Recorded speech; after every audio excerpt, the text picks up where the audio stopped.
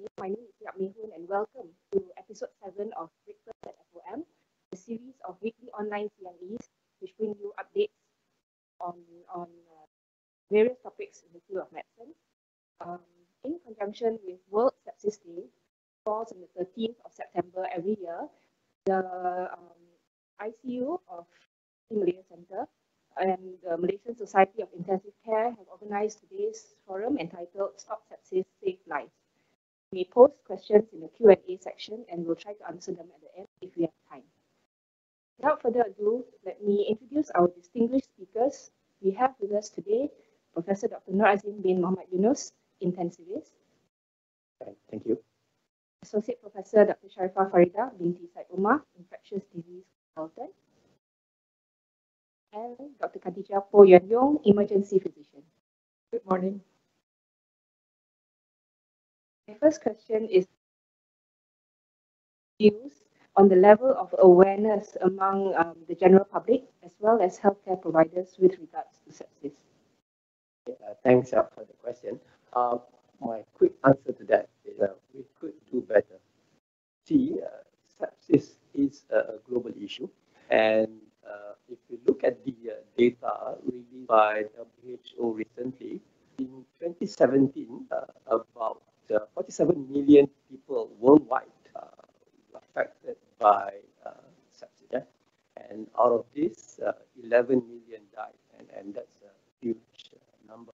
And in certain areas like the uh, lower and middle increase, all right, this uh, death could, uh, uh, uh, uh this sepsis death uh, contribute, contributed to about 20% of the total death. Now, so, so that's um, serious uh, global data. And if you look at the uh, our own Malaysian data, and I would like to use the uh, data from the Malaysia of Intensive Care. So that's the annual data uh, compiled by our uh, local uh, intensive colleagues. So sepsis and septic shock. Septic shock here refers to the extreme end of sepsis. they both consistently, year in and year out, know, contributed or, or, were the main causes of ICU admissions, as well as um, the main causes for in are serious data. The um, public uh, awareness uh, to this, uh, you know, the seriousness of the sepsis issue is lacking. We take uh, cardiovascular diseases um, uh, uh, comparison where we heart attack in medically related acute syndrome.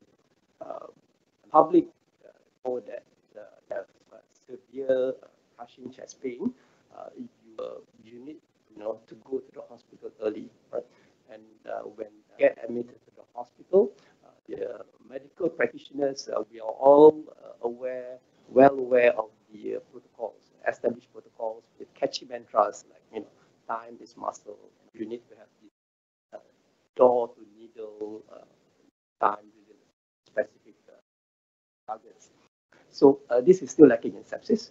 So we, we, we need uh, to address this uh, on both fronts, the, the public as well as the healthcare uh, practitioners themselves. Thank you, Prof. My next question is for Prof. Syarifah. Um, Prof, can you tell us what is sepsis and what makes it so lethal? Thank you for that question. Um, very good morning to all. So sepsis, um, when somebody gets an infection, naturally the body will want to fight that infection and it does it by um, releasing uh, or activating the immune system. So phagocytosis happens, the inflammatory uh, cascade is activated, and also at the same time, pro-inflammatory and also anti-inflammatory agents are released. So these in inflammatory agents are there to regulate the inflammatory response. So hopefully with this response, the infection can be controlled and uh, the tissue injury can, can be repaired immediately. However, in sepsis, what happens is um, these pro-inflammatory mediators exceeds uh, the anti-inflammatory mediators. So you get this um, excessive uh, inflammatory response, if you like. Uh, so now the response, instead of tackling or just targeting the infection, it goes beyond the boundaries of the environment. And this leads to a more generalized response. So you end up with a clinical syndrome, which has biological causes, biochemical abnormalities, physiological uh, consequences, which is caused by this deregulation of the host immune response. And this leads to multi-organ failure and eventually it can lead to death itself. So it's not just infection, but the response or the over response to the infection sepsis and multi-drug, uh, sorry, um, uh, multi-organ uh, failure and also death. All right, thanks. Um, Prof, when one mentions sepsis, it's usually assumed that the culprit is a bacterial infection. Is this always true? Um, so any pathogen can lead to sepsis. Bacteria is the commonest culprit, uh, but you do see in recent years an increase in uh, sepsis caused by fungal infection. And um, so okay? Yep. And uh, I mean, the recent uh, pandemic of SARS-CoV-2 shows you that viruses can also cause sepsis and uh, septic shock and so on.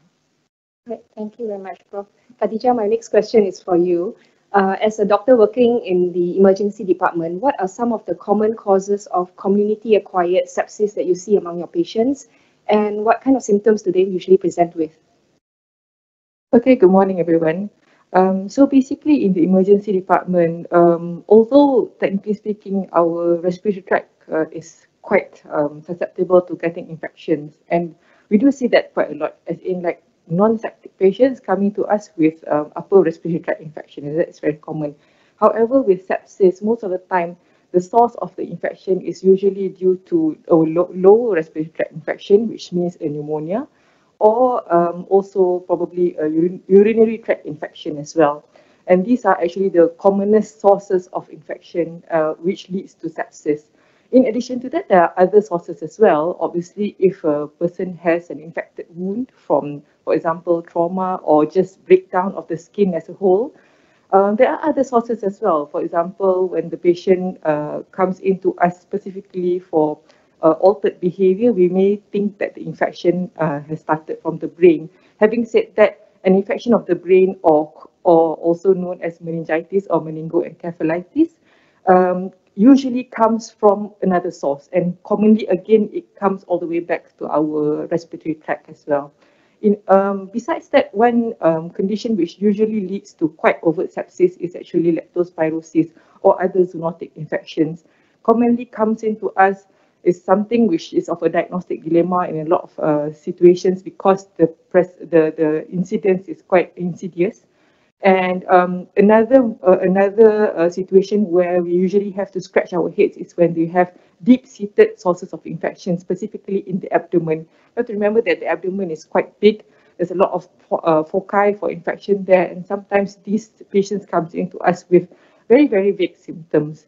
So coming to the symptom itself, we do hope that most of the time the septic patients coming to us with fever.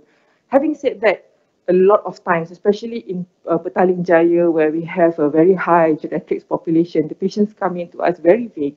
Uh, they come in to us uh, with reduced oral intake or even just lethargy. Um, otherwise, uh, the other uh, commoner sources of infection would usually come in together with the, the, the symptoms would tie in together with the source. So basically, if you have a respiratory infection, usually you have some cough, uh, you know, sore throat, and increase in phlegm. If it's a urinary tract infection, we do hope that you have urinary tract infection symptoms, which is usually, you know, pain when you pass urine or called dysuria, blood in the urine, which is called hematuria. Or, but, but however, having said that, in urinary tract infections, again, the symptoms can be quite insidious and it's not that obvious. And again, sometimes the symptom is just you feeling generally unwell and just lethargic. Um, one important thing that we always have to take note is obviously the travel history, more so in the current pandemic, but however, travel history has always been an important component um, whenever we actually assess our patients who come in with possibly sepsis. Uh, Khadijah, how do you differentiate a patient with sepsis um, uh, compared to another patient with a milder form of, of an infection? Okay, as, as Prof. Syarifah pointed out just now, usually when we have an infection, we do our body naturally will respond to it. We, we our body do not really like um, bacteria. You know, it doesn't really like the organism which is causing the infection, and usually we would respond to that kind uh, the, the presence of that particular pathogen. And the response is usually by, by having a fever most of the time. Um, however, also there are other things, for example, feeling lethargic uh, and, and, and also basically just under the weather. So these are normal responses. And as Prof. Syarifah has pointed out just now, uh, what happens in sepsis is that there is an overt, disproportionate response to the infection itself. And that is where obviously you can see that the line is very, very, gray and very, very blurred. And a, a lot of times it can get quite difficult uh, to assess. We do have some tools though to facilitate us in picking up whether this patient has sepsis. Um, uh, the, the Surviving Sepsis campaign uh, has uh, suggested that we use uh, what we call as SOFA score. Uh, although having said that, in, during the initial contact of the patient to us, it may, you may have difficulties in assessing a full uh, SOFA score, and that's the reason why they suggested that we use a Q SOFA score instead.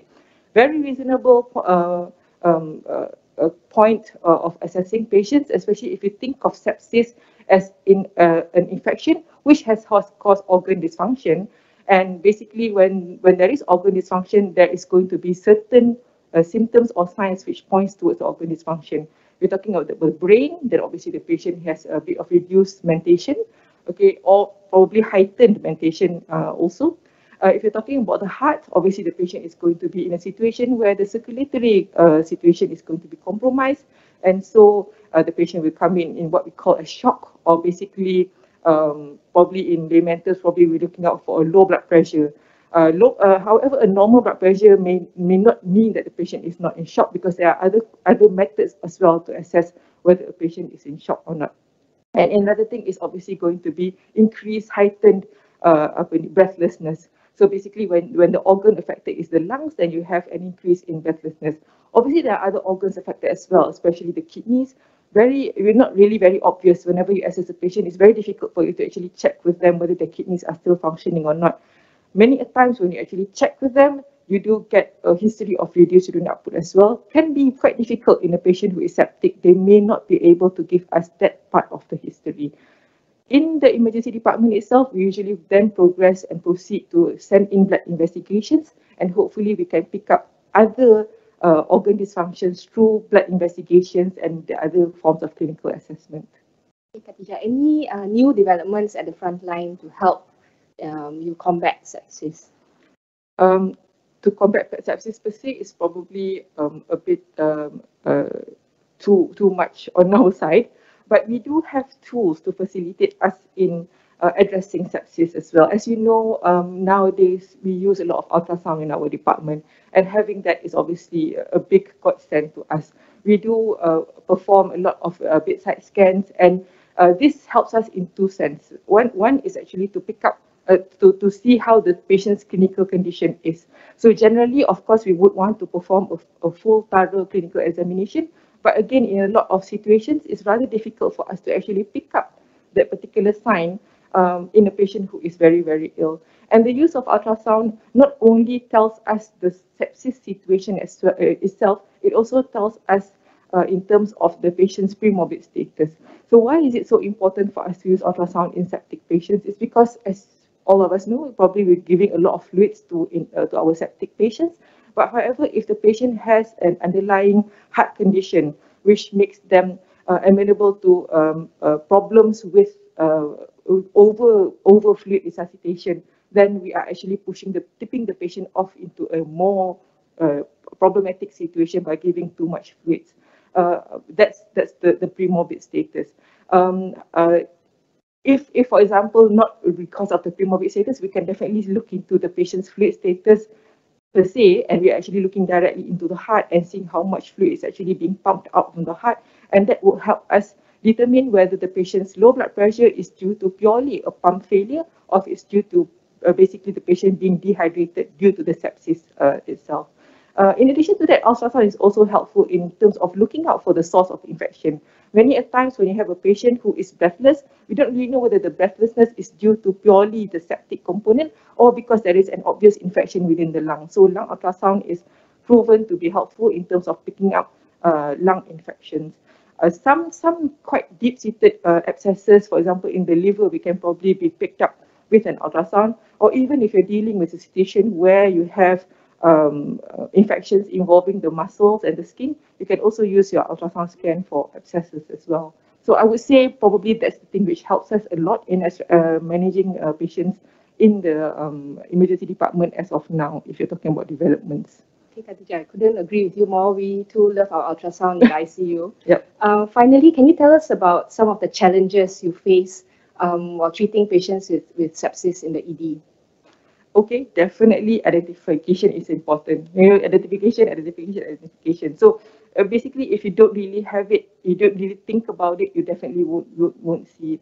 Uh, you only see what your mind knows. Okay, so um, for, for my um, ED comrades out there, basically uh, the main issue is again uh, coming to the point where the patients coming to us, symptoms very, very vague, we're not really sure what is actually happening. You do have some things to point towards that kind of um, uh, condition, uh, and you do hope that you're actually uh, dealing with the right condition, especially if you have a patient who can't really give you much of history. Uh, as I said just now, fluid resuscitation in a patient who is septic, it, you have to obviously really remember about the patient's premorbid status. We don't want to overtly give too much fluids to these patients. Uh, although, you know, you need to have this, that, that sweet spot. You don't want to under resuscitate and you don't want to over resuscitate to the extent of actually causing more organ failure.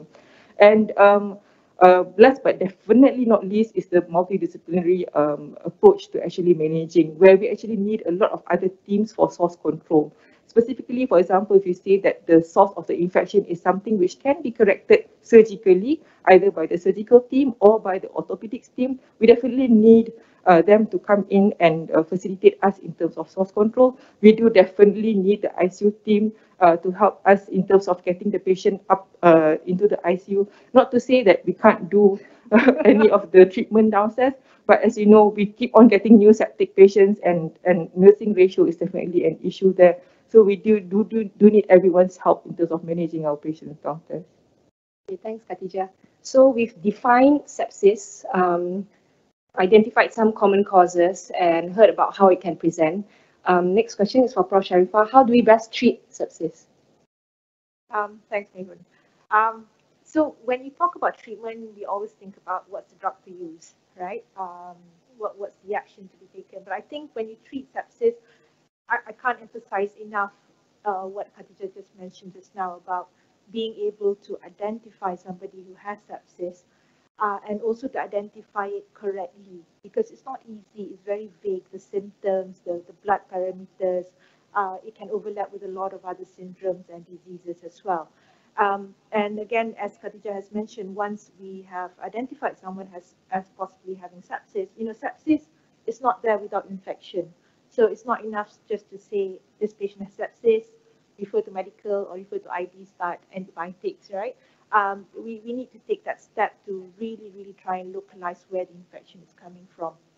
And uh, um, uh, identifying the source using the resources that you have, imaging, investigations, and so on. Uh, clinical acumen is, is, is I, I think um, we, we need to spend a bit more time with the patient, thorough history, uh, thorough examination, and most of the times you will be able to identify a source of, of sepsis or, or the infection. Then you come to treatment. So once you've established all this, then you, you will be able to treat the patient accordingly. So there's two things to treat here. One is the infection that caused the sepsis. So two is the sepsis itself. So infection, you know, um, it's not just antimicrobials. That is an important component of it, but source control is extremely, extremely, extremely important. So um, you know, as Khadijah has mentioned, you know, if if, you if you have like an abscess sitting there or a wound sitting there that's looking infected, being able to clean that, to drain that is, is very, very important. And no amount of antibiotics is going to clear a big abscess that's sitting in your in your organs or or intra-abdominally, intrapelvically, and so on. Um, so surgery is very important when needed, removing any sources of infection. So we have patients in ICU, for example, who get sepsis from a line uh, that's been sitting there. So removing that line, removing that source of infection is also very important. Antimicrobial comes later, or, or not comes later, it has to be started initially, but uh, right, right from the beginning. But um, uh, you know, it, it, has to go together with the other measures as well. Um, on top of all this, it's also important to, uh, we, we hear about the sepsis bundle, right? Um, so it is also important to, to identify uh, patients who have poorer prognostic uh, outcomes when if they do have sepsis. So some people, the younger ones, those without comorbidities, they have sepsis, you do the right thing, most of them will survive. But the mortality increases in some groups of patients. So the older you are, the more comorbidities you. You have um, the sites of infection. If you have a complicated intra-abdominal infection, you're more likely to die compared to if you just had a UTI. Uh, the types of infection, so nosocomial infection, multi-drug resistant infection will cause more mortality compared to community-acquired infection. Um, what was done initially, so how soon did you give the antibiotics?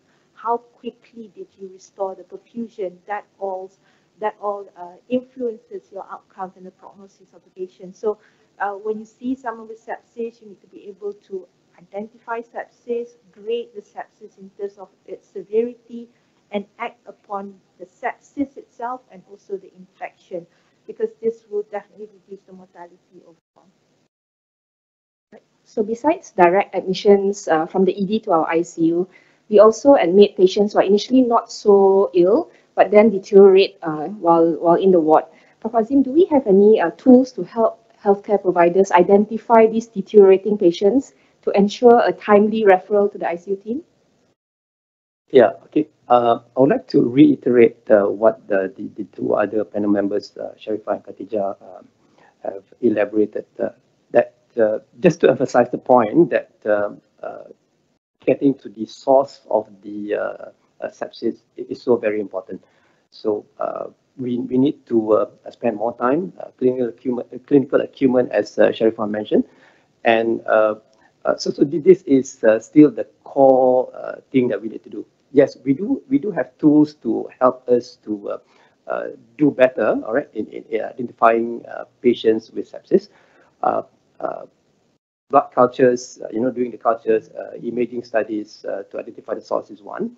And then uh, in, in, the past, we used to, to rely on uh, measurements like uh, temperature and white cell count. And then over the years, uh, uh, with emerging evidence, scientific evidence, we also recognize that uh, these are not so specific to, to sepsis. for example, if, if you have other conditions, you know, you may have a high fever as well. You may have high white cell count. So, so in recent years, we have measurements like the C-reactive protein, right? And more recently the procalcitonin. So uh, that uh, I mean these these measurements have helped us to uh, a bit be a bit more uh, specific to our uh, sepsis treatment. Uh, it has helped us to, for example, limit the duration of antibiotics. Maybe Syarifah later could, could elaborate on why we want to be very judicious with the use of antibiotics in, in, in treating sepsis patients. So we do have newer tools or, or laboratory investigations and maybe for the powers that be that that uh, listening, all right, uh, we, we should get uh, uh, uh these tools like procalcitonin uh, more accessible to our patients and to our practice. Okay, uh, Khadijah spoke earlier about community-acquired sepsis. Um, Prof. Azim, is it possible for patients to de develop sepsis while in the ward? yes, it's possible. I think um, uh, Syarifah alluded to that uh, just now, that uh, she mentioned about the word nosocomial. So nosocomial, uh, in general terms, uh, refer to hospital-acquired infection. So this uh, could happen due to multiple factors. essentially, the environmental factors. some some certain locations in the hospital would have a higher risk of certain organisms, and and also the patient factors. Right?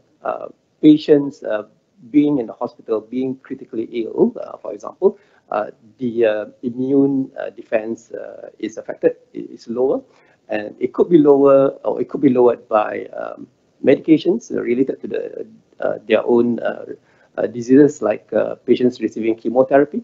And, and, sometimes when, when patients are in the hospital, they might be having lines, you know, and implants.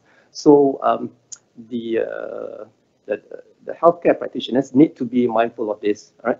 And uh, it also uh, uh, leads or, or, brings us to the point that uh, it is so very important to practice uh, good infection control because uh, nosocomial infection or hospital-acquired infection is there, right? And outcomes of patients affected by nosocomial infection, they actually tend to do. I think last one for you. Uh, what is the toughest part of managing sepsis? So, so the toughest part uh, of managing patients uh, with sepsis in the ICU is when the sepsis uh, snowballs into septic shock and uh, multi-organ failures, multiple uh, organs uh, being affected and getting um, functional, right? And, and these organs are main organs, uh, the heart, lungs, and right? So to may go down to a point of requiring uh, dialysis support, for example, renal replacement therapy. So uh, this is the challenging part. And um, so it is so very important to, to prevent sepsis and to stop sepsis. Um, Syarifah, I'm sure our listeners are curious to know are the bugs which cause community acquired infections the same as those which cause nosocomial infections? Um, general answer to that is no. Uh, basically, pathogens or bugs that causes no are often multi-drug resistant, only found in samples examples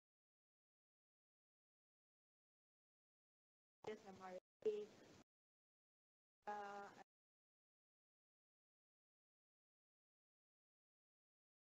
and some of the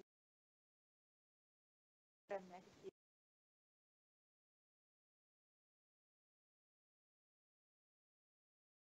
and also now, you know, because RE, I know you are quite familiar with in, in well. So pathogens in hospitals causing sepsis, uh, but from the community, most of them are still fairly sensitive to is it possible to acquire these multi-drug resistant organisms, I mean, multi-drug resistant infections from the community? Of course, it's possible, um,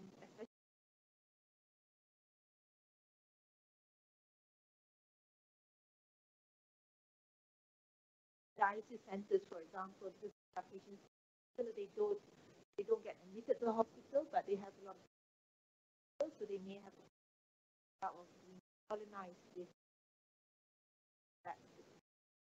Uh, but you know, in a general setting, the general public who health very, very unlikely for them.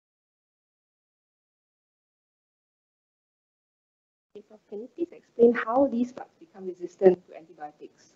That, that is a whole lecture, um, I think any living thing needs life, right? Uh, so uh, bugs or bacteria, uh, they, they develop mechanisms to fight the lots of antibiotics. So exposure to any antibiotics will lead to uh, bacteria itself develops mutation, uh, and the bugs they usually survive and so in the future when you use the antibiotic again it may not or it may not work at all. So the genes that there can be transferred onto another bacteria and um, um, so resistant bacteria, when you try the antibiotics again, uh, may not work through several methods. So uh, they're so clever that they can they can actually, you know, once the antibiotics enters the cells, they can actually pump it out again. You know, they, they have this pump uh, efflux mechanism. Um, they, the, the carbapenemases, uh, the CREs that we're so uh, scared of nowadays, you know, you give them a, carbo, a carbapenem and it actually they produce enzymes that completely destroys the antibiotics. Uh, they can bypass the antibiotics target uh, for, for destroying the bacteria. Um, so there's many ways for them to do it. But I think the, the, the main thing is once you are exposed to an antibiotics, it's natural for the bacteria to find a way to develop uh, mutations so that in the future, fight that. And can you tell us what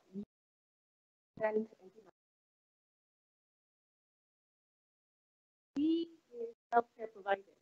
everybody, everybody. I think judicial, I mean, uh, I think now, but judicial. So we often think about hospital setting um, in, in the setting of sepsis. So as he had mentioned, the diagnosis lateness of the symptoms if we uh, do not diagnose properly sepsis, then so it's very important for all providers, anyone who can prescribe an antibiotic to think the antibiotic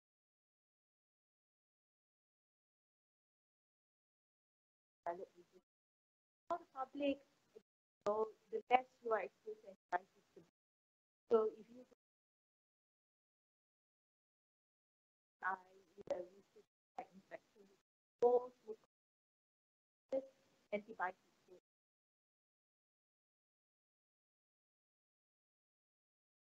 But if you are to antibiotics, then probably change with the health providers if you antibiotics antibiotics affect those that. Uh, soft control important. If you do not, you do not cause, you're just posing the longer duration. Yes, the um, Azim, how has the medical profession progressed in our fight against that?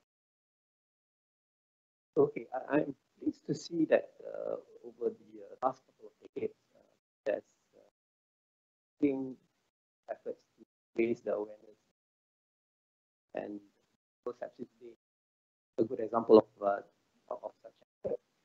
And uh, over the last couple of decades as well, uh, we've seen uh,